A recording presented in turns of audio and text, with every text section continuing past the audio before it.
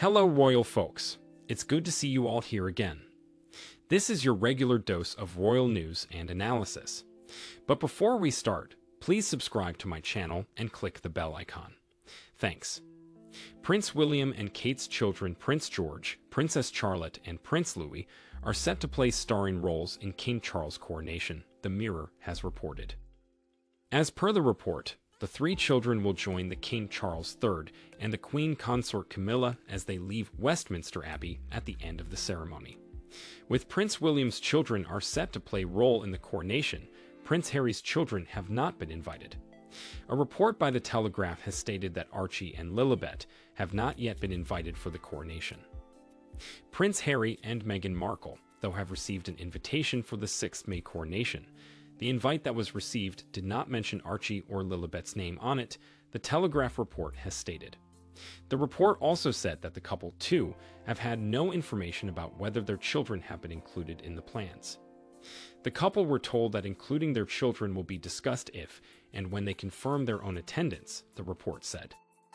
The Duke and Duchess of Sussex may have been invited for the upcoming coronation of King Charles III, but they remain in a predicament over attending the event. The rift in the British royal family is steadily worsening in the aftermath of Prince Harry's tell all memoir, with both sides so far unwilling to engage in reconciliation talks.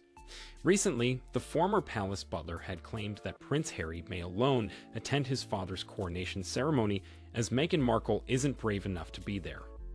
Harry is mindful that this will be pretty much the most important day in his father's life, but the coronation date also falls on his son Archie's fourth birthday. Coming back to the Prince William's children, as per the plans seen by the Times, George, Charlotte, and Louis are reportedly set to join their parents in a carriage behind a Gold State coach transporting the King and Queen Consort Camilla. Earlier in 1953, when Queen Elizabeth was crowned, King Charles was only four and had attended just some parts of the ceremony, and also did not have any formal role to play. A royal commentator, Dr. Ed Owens, recently told The Express that if Duke and Duchess of Sussex attend the coronation ceremony, they will have no control over how this event plays out. The royal household will have complete control over this event. He also added that the rehearsal schedule will be extremely intense and everything will be planned to the last detail, including how the event is supposed to go and the roles that the various performers will play. If Harry and Meghan are present on the day, they are going to be minor figures at the fringe of this event, he told The Express.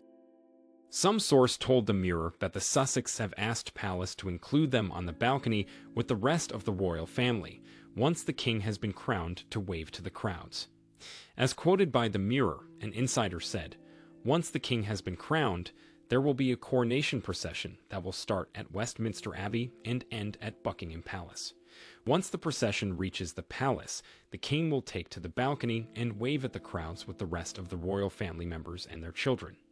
This is where Harry and Meghan have requested inclusion, but balcony arrangement stands only for the working royals. So what do you think about this news, guys? Please share your thoughts in the comments and let me know what you think. Until then, thanks for watching. We'll see you again with some more fascinating news about royal family. Thank you.